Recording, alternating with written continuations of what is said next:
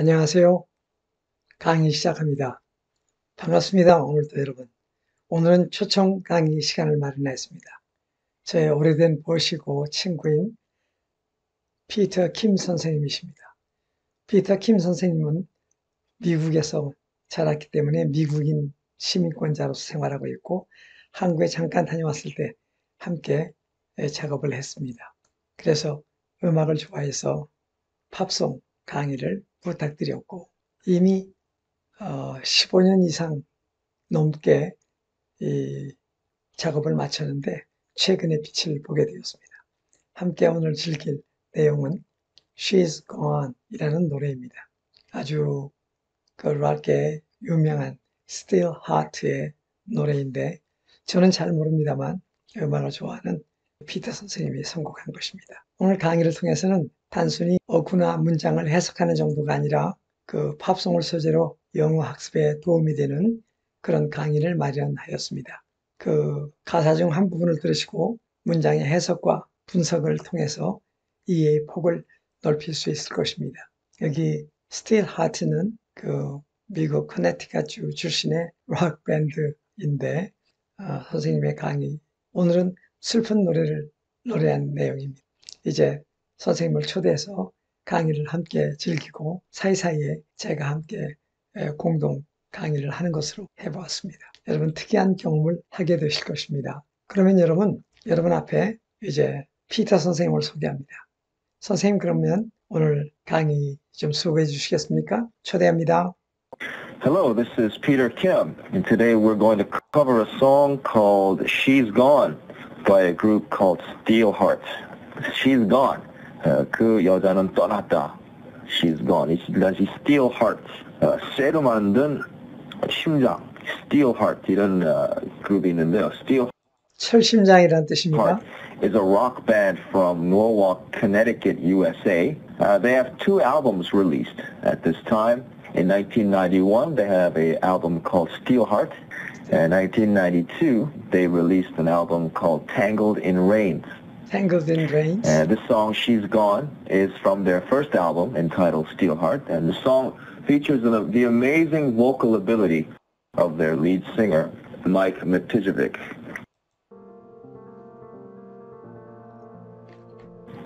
스틸하트는 미국에서 온 밴드인데 커네디켓 주에서 왔습니다.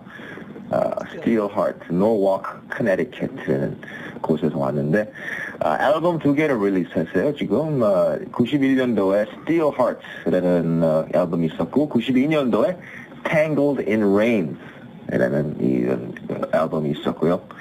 지금 여기 있는 노래 She's Gone.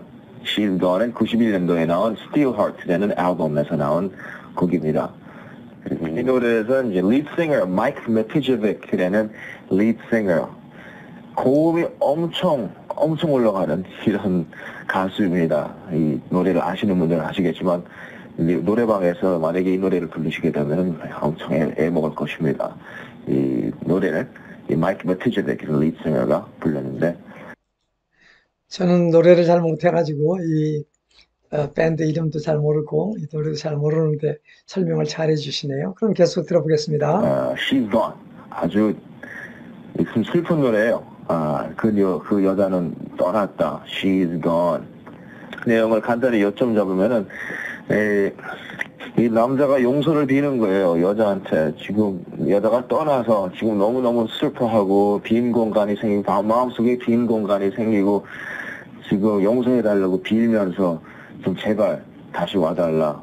내가 당신한테 잘못을 했는데 잘 무슨 실수를 했나 봐요. 이 남자가 굉장히 실수를 큰 실수를 해가지고 여자가 떠나는데 다시 와달라고 외롭다고 이제 이런 어, 통곡을 하는 이런 노래입니다. She's Gone. 한번 이 노래를 한번 들어보도록 하죠. 1절을 한번 들어보시겠어요? 일단. 어, 요즘에 그 저작권법이 상당히 까다로워졌기 때문에 여러분이 유튜브 들어가서 She's Gone 이라는 노래를 쳐보면 노래를 들을 수 있을 것입니다.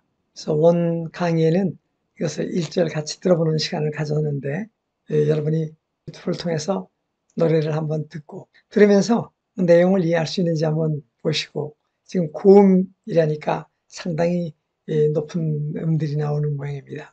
우리는 영어를 공부할 목적으로 이 내용이 아름다운 가사가 되어 있기 때문에 살펴보고 있는 것입니다. 듣고 와서 듣거나 또는 강의를 듣고 나서 다시 한번 또 유튜브를 통해서 그 노래 She's Gone 들어보시기 바랍니다. She's gone out of my life. 와, 목소리가 아주 엄청 올라가네요. She's gone out of my life. 이 여자는 떠났습니다. Out of my life. She's gone out of my life. 발음 한번 해보세요. She's gone out of my life. She's gone out of my life. Out of my life. 인생에서 사라졌다. It's out of my life. Out of my life. 이 사람은 내 인생에서 없어졌다. 내 인생에서 사라졌다. That person is out of my life. That person is out of my life. 여기 비동사와 함께 out of 하면 무엇 밖에 있습니다. 무엇에 밖에 있습니다. So she's out of the room. 방 밖에 있습니다. 이런 말이죠. 그런데 방 밖으로 나갑니다 하면 비동사를 go로 대체해서 go out of the house. 그래서 그 여자는 지금 나가고 있는 중입니다. 방 밖으로. 그러면 she's going out of the house. She's going out of the house. 근데 이제 방 밖에 머무르고 있다. 그렇게 하면 음, she stays out of the room. She stays out of the house. She stays out of the house. 그래서 무엇의 바깥쪽에란 말이 out of인데 밖에 있다 비동사와 함께 밖으로 나가다 동작에는 go out of the 이렇게 쓰고 go out of 쓰고 방 밖에 나가 있는 상태를 계속 유지하다 할 땐 stay out of 이렇게 표시할 수도 있습니다. 같이 이제 공동 강의를 해보는데 재밌네요. 피터 선생님 잠깐 끼어들었습니다. 진행해 보시겠습니다.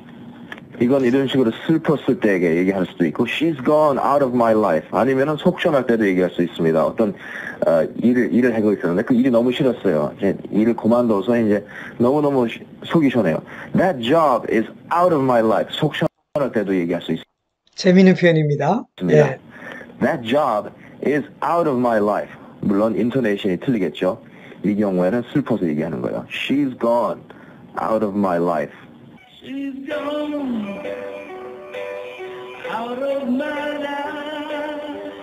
그 다음은 I was wrong. I'm to blame. I was wrong. I'm to blame. 내가 잘못했다. I was wrong. I was wrong. 이런 말 많이 쓸 수 있죠. 잘못하는 적이 많죠. 그것을 에, 인정을 해야 돼요. 어떨 때는. I was wrong. I'm sorry. It's my fault. 그렇게 하죠. 내 잘못이다. It's my fault. I was wrong. 그래서 전화번호가 잘못 온 번호다 할 때 그러면 어, it's a wrong number 이런 말도 쓰고요. 전화 잘못 걸으셨는데요 하면 you have the wrong number. You have the wrong number. 그렇게도 쓰고요. 하여튼 잘못된 It's my fault. I was wrong. I'm to blame. I'm to blame. 내 탓이다. I'm to blame. 어떨 땐 억울하게 되죠. 누가 나한테 어, 내 탓으로 돌려요. 어떨 때 내가 잘못한 게 아닌데 어떻게 답변할 수 있어요? Don't blame it on me. 내 탓으로 돌리지 말아라. Don't blame it on me. 조금 더 천천히 해드릴게요. Don't blame it on me. Don't blame it on me. 내 탓으로 돌- 돌리지 말라. I was wrong. I'm to blame. 내가 잘못했다. 내 탓이다. I was wrong. I'm to blame. 여기서 blame은 비난하다 이런 뜻인데 그래서 비동사 다음에 이렇게 to가 오면 비동사 다음에 to 사람이 주어일 때 그러면 예정, 가능, 운명, 당연 이런 뜻이 되는데 blame이란 단어는 누구를 비난하다, 책하다 이런 말도 있고 근데 아, 이게 수동의 의미를 지녀요. 그래서 문법적이라면 굳이 I am to be blamed 같은데 그렇게 쓸 필요가 없이 I'm to blame. 내가 비난받아 마땅하다. 내 잘못이다. 이런 표현인데 많이 쓰고요. 아까 선생님 말씀하신 것처럼 blame it on me. 내 탓으로 돌리다. 근데 내 탓이라고 하지 마 하면 don't blame it on me. 이렇게 쓴다는 점도 설명해 주셨고요. 한번 껴들어 봤습니다.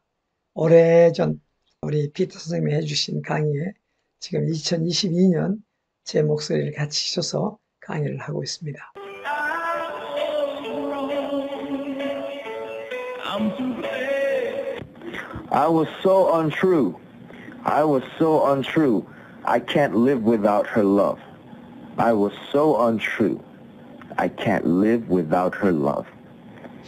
나는 너무나 참되지 못했다. I was so untrue. I was so untrue. 뭘 잘못한 다음에 나 아, 너무 참되지 못했어요. 거짓말을 하고 속이고 그랬어요.